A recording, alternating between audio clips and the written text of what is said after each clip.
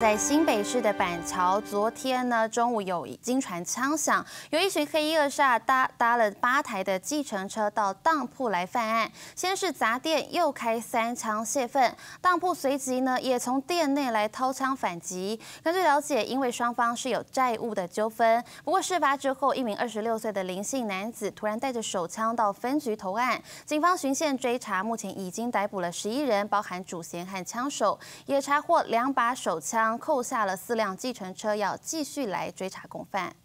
好几辆计程车违停路边，黑衣恶煞持棍棒下车后，直冲当铺行，对着玻璃门一阵猛砸，就连骑楼机车也不放过。下一秒，只见枪手从口袋掏出预藏好的改造手枪，连轰三枪，随后一伙人跳上车离开。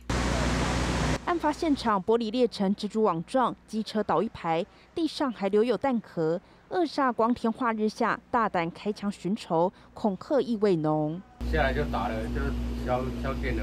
开一开就跑了啊！就开窗户看，哎呦，怎么有计程车跟黑衣人在拿棍棒啊？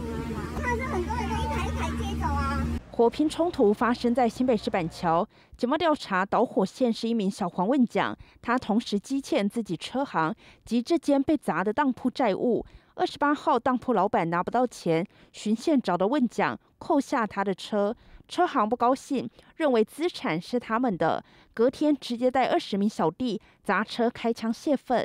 车行的林姓枪手开三枪后投案，而当铺的人也开两枪回击。目前得知哦，那个换险有一名呐，哦，身中两枪，哦，这个手背一枪，还有腹部一枪。警方巡线逮捕十一人，包含主嫌及枪手，也查获两把枪，扣下四辆计程车，将持续追查是否为帮派寻仇，不让嚣张恶煞逍遥法外。记者新美市综合报道。